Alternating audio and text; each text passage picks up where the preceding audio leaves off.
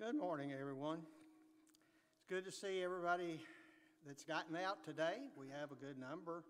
We had a good number at first service, but we always uh, want you to remember and understand that we want you to choose your method of, of worshiping the Lord. We hope you'll worship in one way or the other, but if, if uh, you choose to wear the mask and want to come to first service, we'd like for you to do that. If you are um, optional at this service, but we are glad that you are with us, uh, whichever way you choose, or live stream or Facebook. It's a difficult time, but we're working our way through it. So we're happy that you are listening or worshiping uh, with us in whatever means today. Um, let's remember, though, that we have a lot to be thankful for, even though we kind of uh, dwell on the negative now, but we all have a lot to be thankful for. So, for the next hour, let's all try to lay aside the cares of this world and let's participate as we worship our Lord together. this morning, Jared Morgan will be leading our singing. Corey Phillip, uh, Corey Westerfield, at the appropriate time, will lead our prayer. Uh, Chris Gunn will conduct our Lord's Supper devotional, and Brad Hall will have our scripture reading, and Mark Ray will have our lesson. So let's begin as we began our worship today by reading a scripture, a very common scripture that you've all heard and has been uh, made into a song. Numbers 6 24 through 26 says, The Lord bless you and keep you. The Lord make his face to shine upon you and be gracious to you. The Lord lift up his countenance upon you and give you peace. Jared. We'll be singing some. Uh, uh, so there's uh, different versions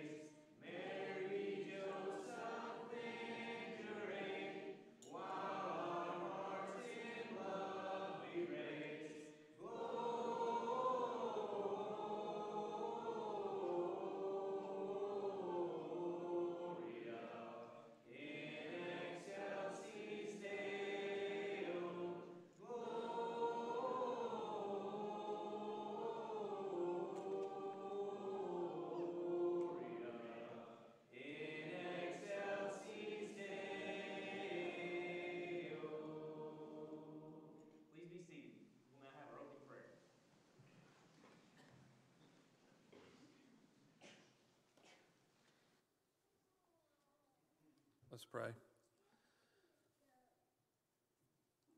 Our Heavenly Father, we are thankful to be able to be here this morning. We're thankful to be able to gather as a group of your people and to be able to worship together and to strengthen each other, to edify each other, uh, and to be able to do that, Father, without uh, worry of, of persecution and things of that nature, Father. We're grateful that you saw fit, Father, to send your Son here not only to die for our sins, but to establish your church and to establish the, the ways, Father, in which we are to worship you. And we pray that we will do that in a spirit that is true. And uh, Father, we simply just want to express our adoration for you, for all that you do for us, and for the beauty of this world that you've created. As Lonnie mentioned, sometimes we focus so much on the negative, but there is so much positive, Father, that we have in our lives. And we know that you are to be thanked for that and that you are the one that blesses us. Father, we confess that we often are not the people that you want us to be, that we fall short and we don't do the things that you want us to do. We pray that you'll just give us the strength that we need to be able to overcome those things, that we'll, that we'll strive each day to just do a little bit better and to try to be the kind of people that you want us to be, that will treat others the way that you'd want us to treat them. Father, we're thankful for all the many blessings uh, that you've given to us in our lives, both spiritual and material. And uh, we're, we're grateful, Father, especially during this time of the year. We often gather with our families, and we're thankful for their safe travels. And we pray that they'll have safe travels when they return home.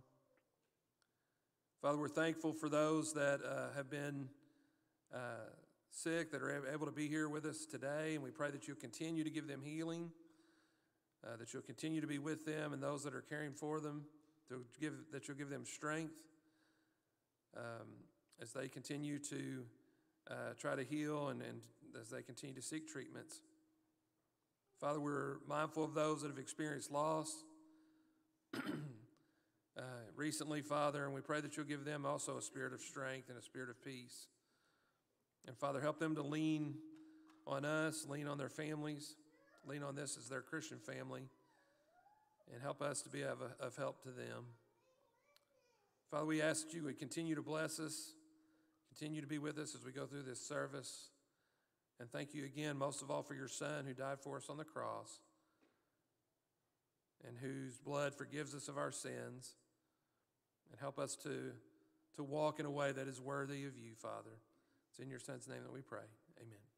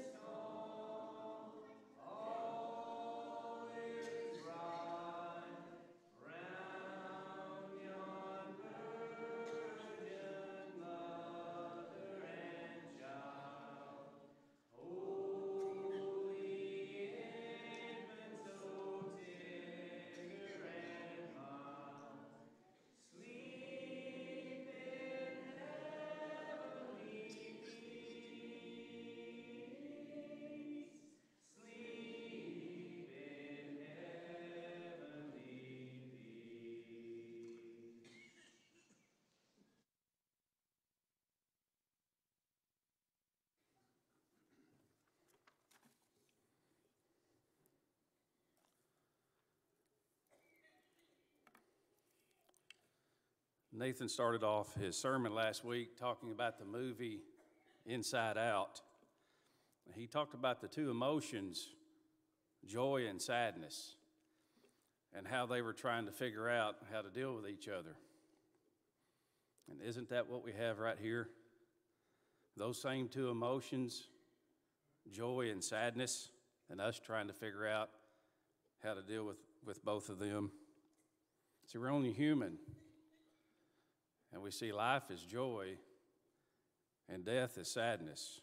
And this seems to be that all rolled up into one. Two scriptures, back to back verses, demonstrate this Romans 5 8 and 9.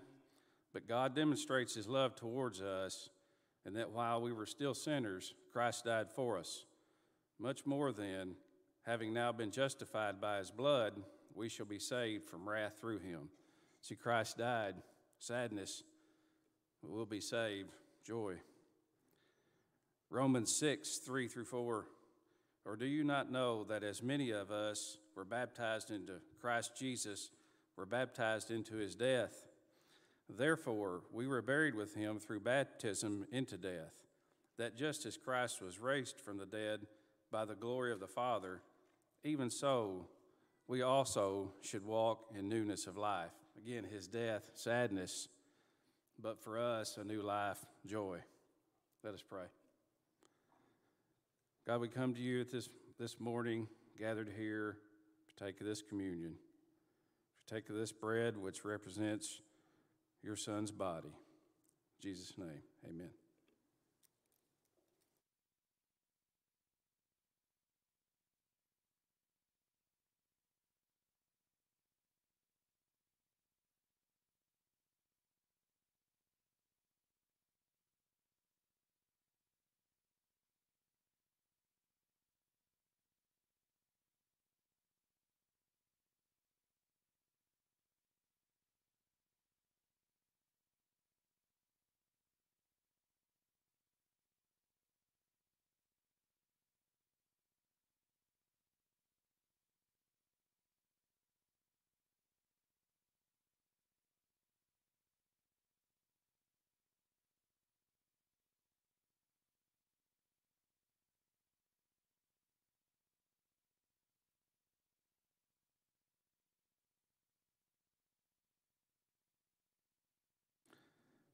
God, we come to you again at this time, mindful of the sacrifice for us, and that this cup, which represents his blood, shed for us, that we may have life.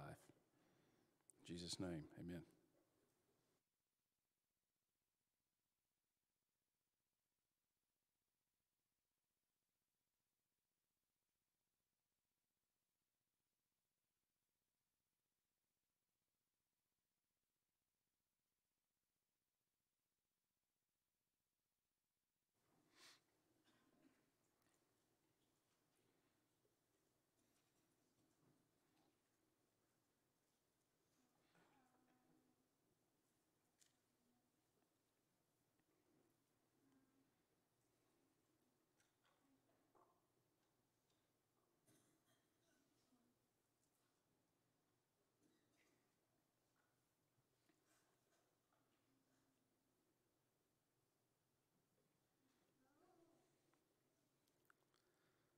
Each week at this time, we also have another prayer, thanking God for the blessings that we have. And as we have made the change, the boxes in the back are made available for you to put your contribution in. Let's pray. God, we come before you again this morning, so thankful for the many blessings that we have, many that we take for granted, many that we don't even realize. We ask that you help us to see those and to see your hand in our lives. In Jesus' name, amen.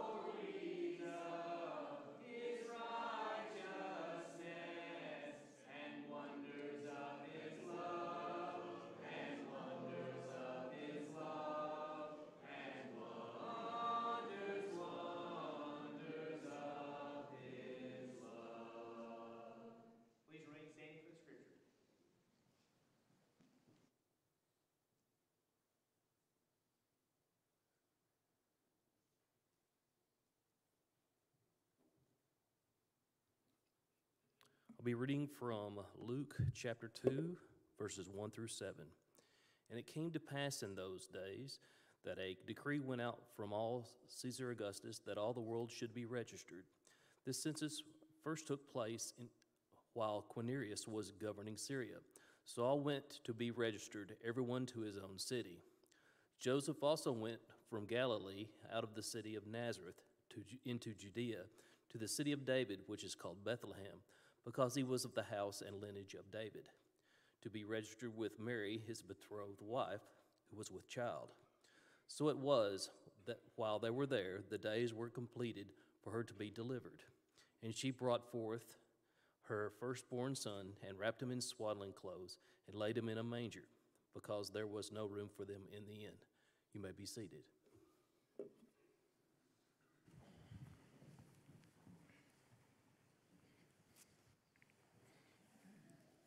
Good morning. It is good to see everybody here today. We have a good number of folks here. Glad that you're able to be with us. We have this opportunity to worship together. Go ahead and turn in your Bibles to Luke chapter 2, verses 1 through 7, a passage which was just read for us. Luke chapter 2, verses 1 through 7. I want to thank Nathan for uh, preaching for me last week. He did an excellent, wonderful job, and I am highly or very appreciative of that. I'm also appreciative of our visual audio crew. Uh, they have installed a new camera, and if you look back there, it looks like R2D2. I thought it was Special K, but they call it 4K. I don't know. But um, it's, it's one of those that works really well, and they're doing a lot of neat stuff as far as how the audio visual stuff will work. And so, uh, in that crew, you're looking at Lori and Scott, you're looking at Mike and you're looking at a lot of other people, Danny and other people who are working with it. And I appreciate them, appreciate Philip working with the radio, and all the people doing sound and everything else. It's a, a good work that they're doing. There's a lot of expertise that goes with that. I also want to thank Sean and Nathan for the last Wednesday night class that they did. If you look on Facebook, we had 1,200 views of our Wednesday night class so far. And this next week, uh, it's going to be Nathan and Bill Morgan. So be sure to watch that. They're going to talk about the history of the church and families, the role of families in working with the church. So it'd be an interesting class to be a part of, and that will be 6:30 on Wednesday night. Now, in our lesson, as we look here in Luke chapter 2, verses 1 through 7, we're going to talk about journeying or for the holidays or traveling through the holidays. Christmas has always been one of my favorite holidays. And of course, Thanksgiving is as well. Now, of course, I love to eat. That's a big part of Thanksgiving. And I love getting stuff and giving stuff. That's a big part of Christmas. But since I've grown older, out of high school and being away from home, what I've always enjoyed about the holidays is it's an opportunity to get back with family. And maybe you're like me. I used to tell my parents I love the smell of home. And that always made them look at me weird because they didn't want their house to smell like anything. But you know what I mean. When you go back to the old home place, you get back to where you grew up, there's a, a feeling, a smell, an atmosphere that feels good to be there. When your family lives away, it feels good to, for all of us to be together. Now, with the rules this year, it's a little bit harder to travel, it's dangerous. And so you have to be careful about those sort of things. But many people will be traveling back and forth and things such as that. And so I want us to think about that and think about how that relates to what we read of here in Luke chapter 2, verses 1 through 7. As we consider this, go ahead and think about Joseph.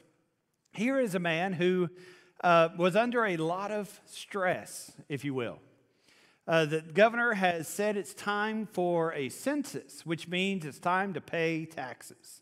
So you can imagine how much fun that's going to be. But not only that, now he has to go back to his home place, the city of David, Bethlehem, which is where his people are from. Now, as you read in Matthew chapter 1, you read the genealogy of Jesus. And you see where Joseph, or excuse, yeah, Joseph belongs to the family of Abraham, the family of Judah, the family of David, coming all the way through to the family of Zerubbabel. And so, just 450 years before the days of Joseph, his people, his lineage, was of the king of Israel. And you can know that Joseph knew those genealogical tables, and Joseph knew where he belonged. He belonged in leadership over the entire nation. But the last 400 years have been kind of tough. As a matter of fact, and just instead of Joseph being king, now he's a carpenter. And that idea of a carpenter in our modern day would translate to a day laborer. He's somebody out making more or less minimum wage. He's someone who, as we see with the sacrifice in the temple after the birth of Jesus, as he is offering just a turtle dove, he's a man who's in poverty. And so you can imagine what's going through Joseph's mind as he realizes where he should be and now where he's at. Now he has to travel from his homeland, where he, he lives, all the way to Bethlehem. Now, as you look on a map and look at straight as it goes, that's 70 miles away. Jews that day used to not go through Samaria. They would want to go through the Jordan Plain down to Bethlehem outside of Jerusalem. And so that would be 90 miles. So here he is traveling for, let's see, us in Benton. Um, Clarksville is going to be 82 miles from here. So he is traveling from here to Clarksville on foot, and you can imagine how difficult of a journey that would be. And as he arrives, think about who Joseph is. This is his home place, if you will. This is his ancestral place. The people here are his cousins, second cousins, uncles, things such as that. But he arrives in Bethlehem, and there's not a house in the town that can take him in. There's nowhere that has room for him, even though he's among family. As a matter of fact, he even goes to the inn, and the inn is full, and they put him and his pregnant wife in the barn, if you will. It's more or less a cave, a place where the animals usually are, and that's where he has to stay. As you and I think about what Joseph is going through at this point, perhaps we can relate to it. For some people, holidays are tough.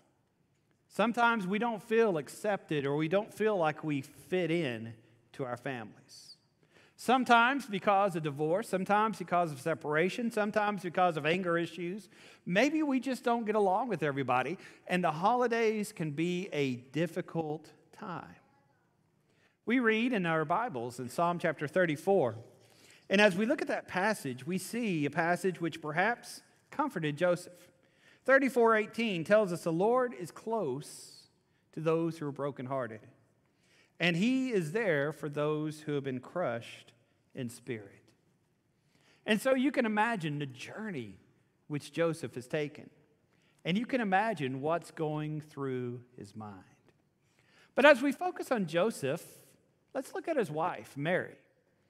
Now, as you think about Mary, uh, you realize what it is she's going through. When I first began preaching, I preached a sermon around Christmas and talked about Joseph and Mary and talked about Mary riding on a donkey. And somebody after services got a hold of me and corrected me, and they said, Mary never was on a donkey. That's not anywhere in there. It's a Christmas story, but it's not found in Scripture. Well, maybe she was on a donkey, maybe not. Donkeys were pretty common back in that day. But imagine being nine months pregnant and it's time to walk for 90 miles. Imagine knowing that you're going to have a baby in the next week or two and having to walk a four mile journey. And as you enter around Jerusalem, around Bethlehem, there's mountains that you got to crawl over. I looked on a weather app today. In Bethlehem, it is 52 degrees and clear, but usually the temperature is about the mid 30s. As you go through the Jordan Plain, usually during that time, it's in the mid 30s and it rains. That's the rainy season. So you can imagine walking, nine months pregnant, walking with it being cold and with it raining, walking and realizing there's really not a lot of people who are going to be anxious to see you. As a matter of fact, there may not even be a place to stay. In your minds, go through what Mary is thinking about. You think she was mad at God? God, why would you make me pregnant in the winter? why couldn't we do this during the summer? You think she was mad at Joseph? Why could I not be with one of the boys who grew up in Judea rather than having go back to Jerusalem and make this long journey? You think she was mad at the government? Why do we really have to do a census right now when all these things else are going on? There's sometimes in the holiday seasons where we're filled with grief and we're filled with questions and perhaps we're filled with a little bit of anger. A lot of people around us have passed away. And because of that, there's going to be some empty seats around the holiday table. A lot of us are enduring economic stress because of the pandemic and because of the economy. And sometimes, as we feel this stress to give gifts to receive gifts, when we feel the stress to have big meals and to make big journeys, sometimes that causes a little bit of anger and a little bit of stress. Sometimes we look at the world and perhaps the election didn't go the way we wanted. Perhaps the news media has brought out things which make us to be kind of filled with stress. Mary very likely feels much like many people do today, wondering why God would do the things he does in the way that he did. Psalm 46 and verse 1 tells us that no matter where we are or what we're facing, God is our refuge and strength, and he is our present help in times of trouble. 1 Peter 5 and verse 7 tells us to cast our cares upon him because God cares for us. There's sometimes we don't understand why God does the things that He does. And there's sometimes that you and I would like to sit in God's seat and correct God and fix God and change God. But we receive the promise that God's with us, that God will take care of us, and that God will see us through everything that we endure. And so you can imagine Joseph and you can imagine Mary as they journey to Bethlehem. As they travel to this place and what's going through their minds and what's going through everything that it is that they're enduring. And then the time comes, and Jesus comes to this world. And as we think about Jesus, we see the very purpose of his life and his name. We read in the book of Matthew that his name will be Emmanuel, which means God with us. We see that his name shall be Christ, which means anointed. We see that his name is Joshua, Yeshua, the one named after the Old Testament Joshua, which will be the one who redeems Israel. Now, the Greek version of that name, Joshua, will be Jesus. And as you and I look at Jesus, what I want us to focus on is the journey that he made. He didn't just come from Judea, which was 90 miles away, he didn't come just across town, but he left the splendor of heaven. He came down from the presence of God and he lived among men. We read in Philippians chapter 2, beginning at verse 5, that our attitude should be the same as that of Christ Jesus who, being in very nature God, did not consider equality with God something to be grasped, but he made himself nothing, being found in appearance as a man. And being found in appearance as a man, he humbled himself and became obedient to death, even the death that would be on the cross. Now, imagine with me, if you will, this aspect of the journey of Jesus. If you and I were to leave heaven, we would probably want to be born in the family of a great philosopher, or the family of an emperor, or the family of someone who would be famous, at least wealthy. And yet, here is Jesus, being born in a manger, being laid in a trough, usually reserved for animals. Here is Jesus growing up in a poor, hardscrabble family. Here's Jesus living a life of rejection, living a life of people who turn against him, living a life where he's hungry, living a life where he is betrayed, giving himself up to die on a cross. Why? Luke chapter 19 and verse 10 says, For the Son of Man has come to seek and to save that which was lost. Jesus made the longest, greatest journey that anyone ever has, leaving the joy of heaven and living upon this earth. Why? John 3:16 tells us for God so loved the world that he gave his only begotten son that whosoever should believe in him should not perish but he should have everlasting life. But that's not the end of the journey of Jesus. Because we see not only did Jesus come to this world to be born, come to this world to show us how to live, come to this world to die for our sins, but Jesus, after three days, was raised from the grave. Now, that's very significant. You and I, as Christians, oftentimes will have a cross on our necklace. We'll have a building that has a cross on the steeple. And Christianity is usually represented by a cross. But the greater representation of Christianity is not just the cross, it's an empty tomb. That's what makes it special. Going all the way back to Genesis chapter 3, we see where Adam and Eve sinned against God. And because they sinned against God, they were separated from Him, Isaiah 59, 1 and 2. And so we see because of that sin, there began to be hurt. There began to be struggle. There began to be sweat. There began to be guilt and regret. And eventually, through Adam, there began to be death. People are separated from those they love because of death and because of sin. Now, as we leave the building today, you can look down the road over here and you'll see a cemetery. And that cemetery is filled with good, faithful Christian members.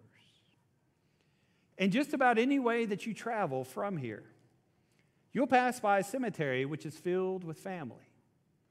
You'll pass a cemetery in which brings back memories of good people who've been there. Grief hurts because death hurts. What makes Christianity awesome is the fact of the resurrection. Go ahead and turn in your Bibles with me, if you will, to 1 Corinthians 15. 1 Corinthians chapter 15. And as we look here, notice what Paul says. Moreover, brethren, I declare to you the gospel which I preached to you, in which you received, in which you also stand by which you are saved, if you hold fast to that word which I preached to you, unless you believed in vain. Now, look at verse 3. For I delivered to you, first of all, that which I also received Christ died for our sins according to the Scriptures, and he was buried, and he was raised on the third day according to the Scriptures. Now, skip down, if you will, to verse 20. But now Christ is risen from the dead and has become the first fruits for those who have fallen asleep. For by man came death, by man also came the resurrection of the dead. Verse 22 For as in Adam all died, even so in Christ shall all people be made alive.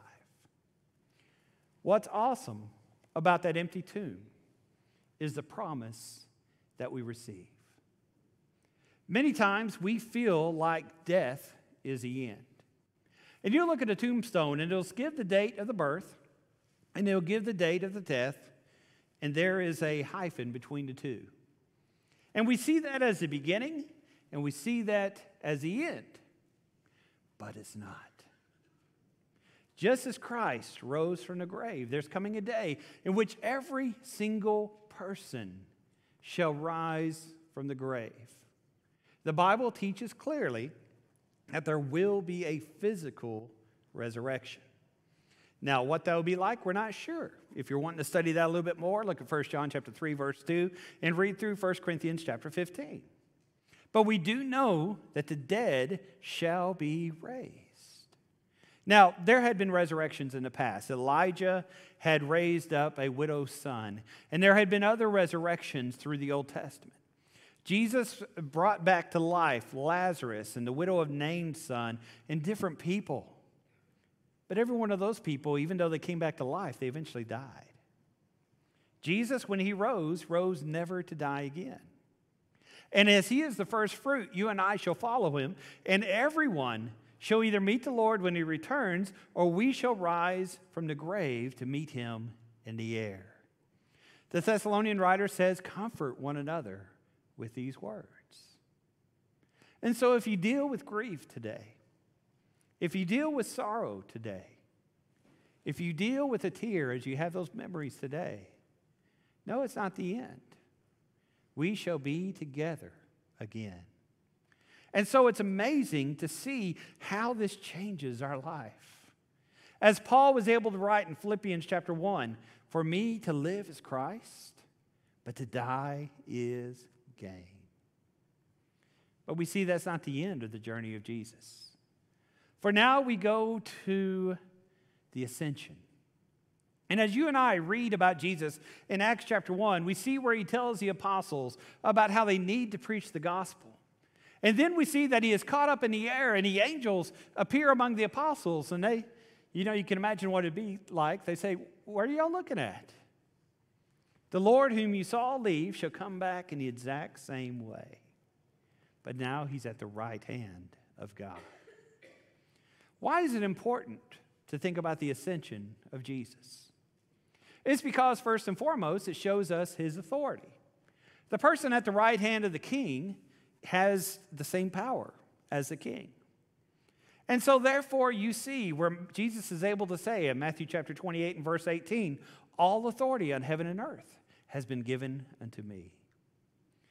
Decades later, John, in exile on the Isle of Patmos, thinking about all of his friends, the apostles who had died a martyr's death, wondering what his future held, and being worried about the church that he loved so much, the church of Ephesus, receives a vision, an apocalypse, the revelation, a vision of his best friend, Jesus. And as he begins to see that vision, he sees in Revelation 1 8, where that writing comes forth. And it says, I am the beginning and the end, the one who was, who is, who is to come. I am, Jesus says, the Lord God Almighty. Jesus made a journey so that he could have authority. So he could, as an expert, tell us the way in which we need to go.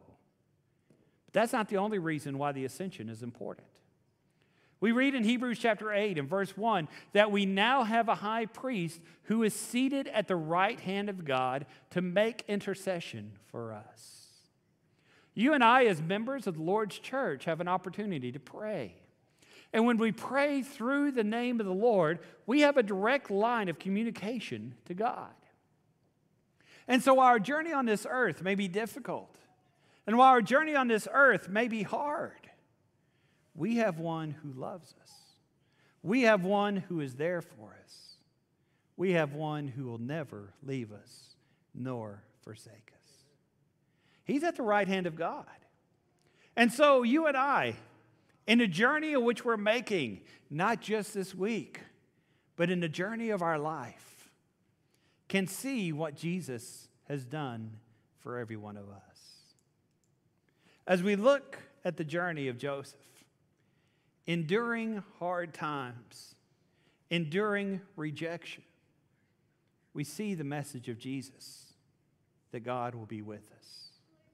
In the journey of Mary, filled with grief, filled with pain, filled with discomfort, we see that the Lord knows what we're going through and He is there for us. Whoever you may be, whatever it may be that you're going through today, know that the Lord has made a journey for you. And know that the Lord has a journey for you to be on. This morning, if the invitation applies to you, if you need to obey the gospel of Jesus Christ through the baptism for remission of sins, this is your opportunity. If you need to prayers the Lord's church, this is your opportunity. If we can help you in any way, we ask that you come forward while we stand and while we sing.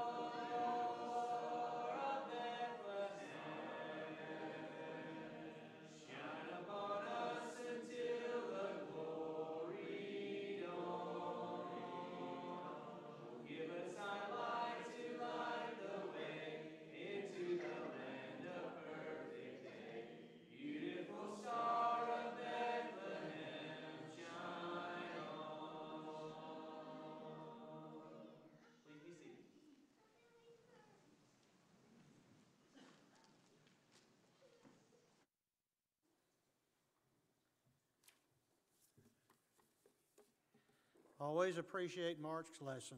Good lesson today, Mark, and he's just commonly does that for us, so we are thankful for him. This time, we'd like to take a few moments to mention those who are needing prayers, asking for prayers. Uh, we certainly want to remember the family of Neil Haley, who passed away Thursday, and his funeral was yesterday. So let's keep that family in our prayers. Jerry Sales will have a medical procedure tomorrow at Neuro, Neurosurgical Center in Indianapolis with the goal of alleviating his essential tremor.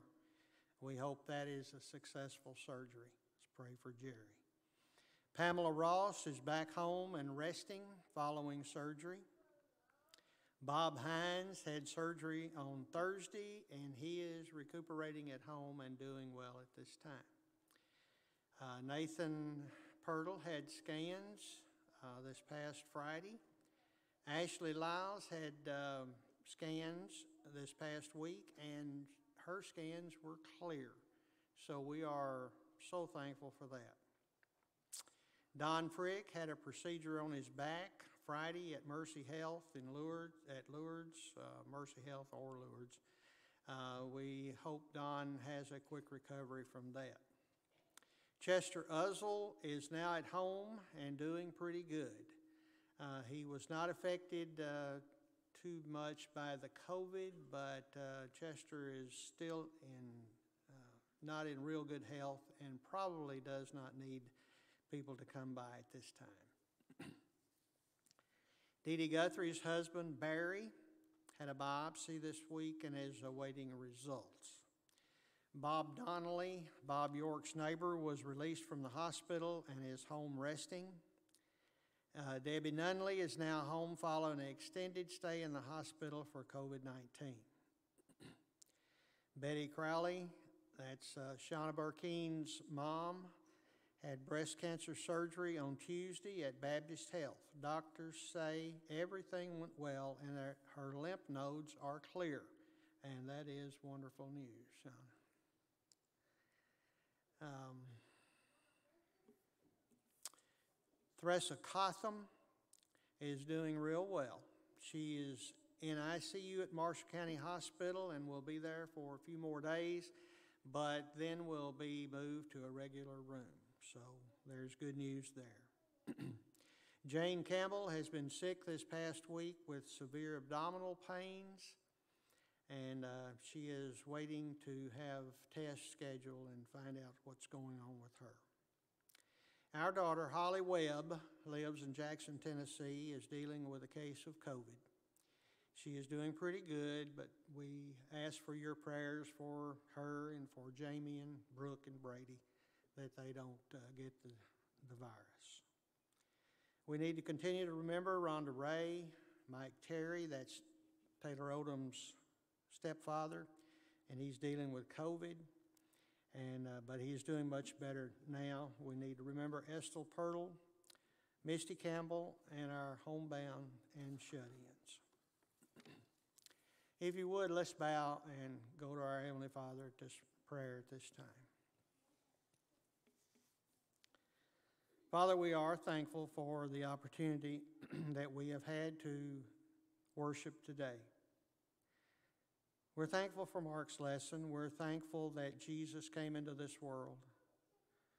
We're thankful that he died and that he was resurrected from the grave and ascended to your throne in heaven. And Father, we know that gives us the assurance that if we follow him, we will be resurrected to life also. Father, we pray for your blessings on this church. We pray for strength to meet the trials of this life. And we pray that you will keep us healthy during this pandemic. At this time, Father, we would like to bring the names of those mentioned before your throne, those who are bereaving. Father, we, we pray for those families who have lost loved ones. We know it's such a difficult time. And we pray that you will bless them. We pray for those mentioned who are in need of prayers that have had surgeries, that are dealing with the virus, that are recovering, that are in various health situations, Father. And we pray that you will look down upon them and that you will bless them and that they will, they will soon be able to return to their normal life. Father, we thank you for loving us, we thank you for caring for us. And Father, we pray that our faith may be, may be increased during this times of trials. We pray, Father, that we may learn to rely more on you every day. Thank you for blessing us. Thank you for loving us. And we love you, Father. And these things we pray in Jesus' name. And amen. All right, have a few more announcements, not too many, but a few here. Uh, The office will be closed uh, December the 23rd through the 25th for the holidays. Be sure to check your mailboxes in the foyer. There are lots of cards in those mailboxes. If you know somebody that's not here, um, take them to them. Or if you're listening, call into the office, come by and get them. Have one of the secretaries bring them to you. So, a lot of mail. Uh, we'd like to thank everyone who donated to the Holiday Helpers. We were able to help several families uh, during this time because of your generosity. So we had to, that had to be done quite differently, but it, uh, they made it work. Uh, Thank you for worshiping with us today in whatever manner you have chosen. I would like to give you just a little summary of numbers. We've probably not done this too much, but this morning we had 92, and I believe it's, uh, it's hard to see through this thing, but I think it was 143 there. And um, so I checked on live stream Facebook first service, and there were about 50 watching, and about 20, 15 to 20 at this service. So, you know, we're, we're well over 300, plus those that are listening on the radio. And I know there's several that just listen on the radio because, because they've told me that. And uh, so we, we're making it, folks. It's a tough time, but we are making it, and we are, I believe, remaining faithful. I believe a lot of these people watching on Facebook and live stream uh, probably are two or three on a device too. So we have a good number, and we are so thankful for that. I have a card I'd like to read at this time from the Farmer family. It says, There are no words to express how thankful we are for all the acts of kindness shown during Larry's battle with cancer. While losing someone is never easy, having God's love and such a caring church family is such a blessing. And thank you, love, the Farmer family.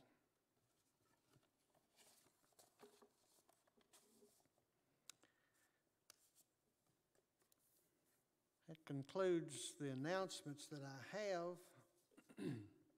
oh, um, I knew there was one more thing about that. Uh, Marlene said that the dishes that you brought for with food are on the table in the foyer. So pick up those dishes if you uh, if you have some out there. We hope everyone has a great week. We hope everyone is safe, and we hope that we can soon be together again. But uh, as things go, we are doing the best we can, and I believe the Lord understands that. So may God bless you. Um, Jerry, do you have a song? Yep. Dismiss us. So I think the uh, balcony can go ahead and be dismissed, and uh, we'll be singing the, this song for dismissal. And uh, yeah, uh, we'll be uh, continuing